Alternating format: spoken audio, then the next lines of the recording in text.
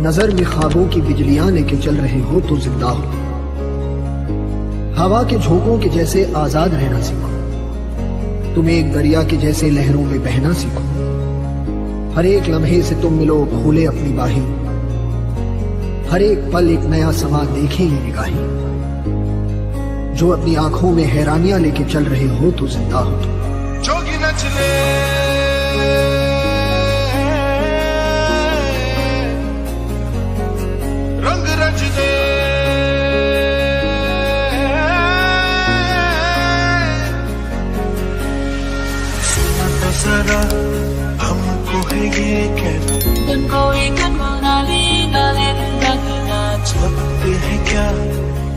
को पता है ना। मतलब हो जा जरा मतलब दुनिया की सुनता है क्यों?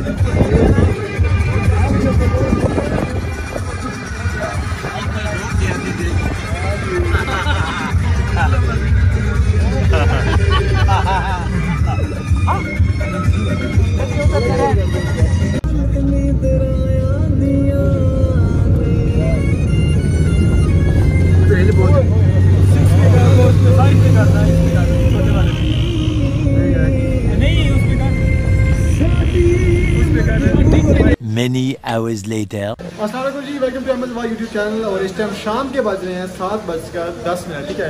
सुबह ग्यारह बजे इस्लामाबाद से निकले हैं और अभी जस्ट पहुँचे हैं और रूम आपको दिखाता हूँ, ठहरे ये एक रूम हो गया और सबसे पहले माजत ब्लॉग में बना नहीं सका क्योंकि मेरी तबीयत जो है ना काफ़ी ज़्यादा अपसेट थी। देखो यार, सुबह के कमरे में ही आ जाओ। तो तबीयत जो है काफ़ी ज़्यादा अपसेट थी। अल्हम्दुलिल्लाह, और काफ़ी बेहतर है। तो मैंने कहा आपको याद कर लें यार।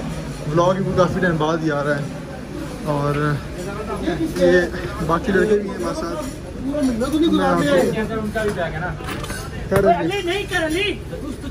मैं आपको और भी दिखाता हूँ कमरे ये जी नारायण कस्टमर देखें। नारायण बाज़ार का। ये थी जी वो आई एस जिस पे हम आए हैं सारे ठीक है? बस इतना सा आ, ये भी अपना है ना? पता कर लूँ। ये ना कुछ और कमरा समझ रहे हो? समझ रहे हो आप? समझ रहे हो ना? घुस जाए भाई। कमरे ठीक है यार। अभी जो है ना ठंड यहाँ है। अच्छी खासी है। ठीक है। जा रहा है ये क्यों जा रहा है? ये देखिए ये देखिए ये देखिए आप। क्या हाल है असद भाई? कैसे हैं आप? मौसम कैसा है? ठीक है। असीब कैसे हो यार? वाह क्या एक्टिंग कर रहा है? इसका नाम वसीब खान है ये भी हमारा अच्छा दोस्त था ये है। बहुत अच्छा लड़का था पहले पहले।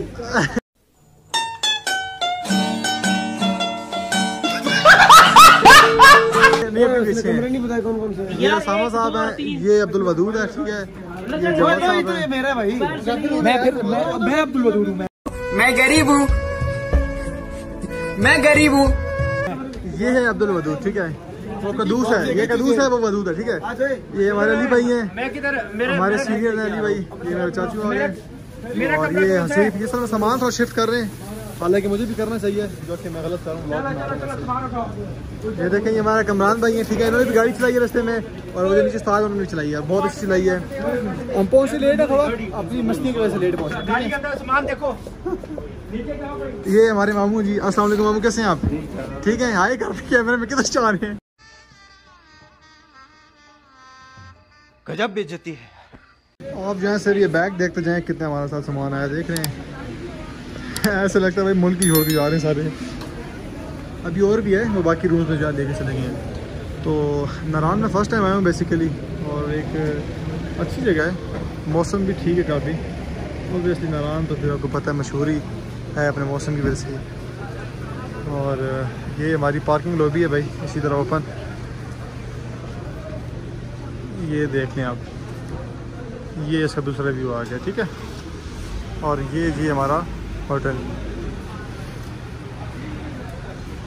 अभी रूम्स वगैरह डिसाइड नहीं हुए अभी किसको कौन सा और किधर देना ये देख लें ये बारबेक्यू का भी सीन है। आज रात को इंशाल्लाह फुल जाना है पार्टी होगी। क्यों सर भाई? जी जी। आप सुनाएँ आप कैसा फील करें अरे थोड़ा सा ना मेरे ख्याल से तभी टफ इतना थका हुआ ना कमर को टूटी पड़ी है सफ़र कर असल में असल में मैं आपको बताऊँ क्या सीन हुआ है? हम फ़र्स्ट टाइम ना इतने लॉन्ग उस पे आए ना और इतने लॉन्ग ड्राइव पे आए। और दूसरा ये कि हमारे पास जो था ना हेड रेस्ट वो भी नहीं था। और हाईएस्ट का आपको पता है कुछ हेड रेस्ट होता ही नहीं है। तो एक जगह वैसे गर्दन रख रख के ना मेरे तो गर्दन में दर्द आपकी है? बिल्कुल मेरी कमर भी है गर्दन भी है बहुत बहुत ज़्यादा। बस दुआ करें हम ठीक हो जाए वरना सारे हमारे पैसे जितने भी हैं सारे बर्बाद हो जाएँगे। अच्छा तो अभी जो है ना इन्होंने रोला बना दिया बहुत ज़्यादा ठीक है। रूम जो है डिवाइड करने में बड़ी प्रॉब्लम कर रहे हैं ये लोग। ठीक है। वहाँ एक कमरा हो गया ठीक है एक दो तीन और चार ठीक है। लेकिन अब यहाँ जो है ना मसला बना हुआ ये देखिए आप।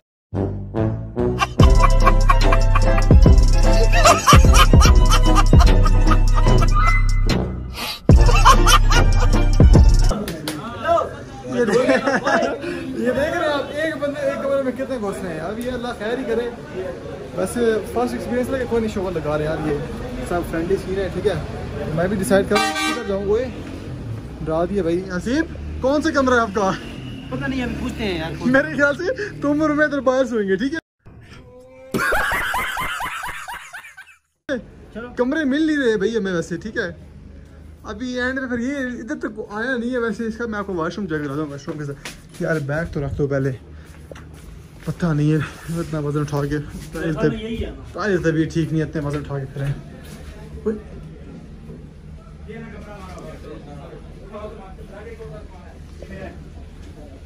ऑलरेडी कोई है। ये हमारा कमरा है भाई। क्यों नहीं मिला वो कमरा? ये हमारा हमें हो गया। मिल गया जी कमरान साहब। ये मिल गया आपको। कितने तीन पूरे?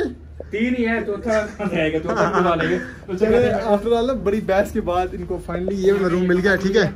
तो अब ये जो रूम है ना ये हमें मिल चुका है ठीक है? फाइनली ये मिल चुका है हमें।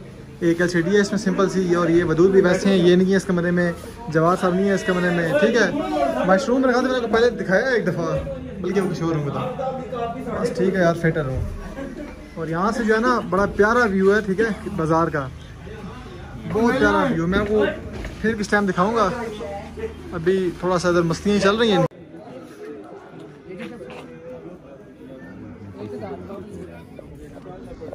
ठंड जो है ना, बहुत ज़्यादा है। बारबी की पार्टी हमने कर ली थी। और मेरी ड्रेसिंग को मालूम हो ही रहा होगा अभी यहाँ कितनी ज़्यादा ठंड है। और ये यहाँ के मशहूर जो हैं, बादाम है, ठीक है। और बादाम वगैरह हैं, अखरोट वगैरह हैं। चीज़ दे रहे हैं। मछली बहुत बांट के खाई है यार। अकेले आए हैं, तो ये चेक कर रहे हैं आप ये सेब ड्राई किया हुआ ठीक है? और ये गैस करें क्या होगा? तरबूज है तरबूज को ड्राई किया हुआ ठीक है?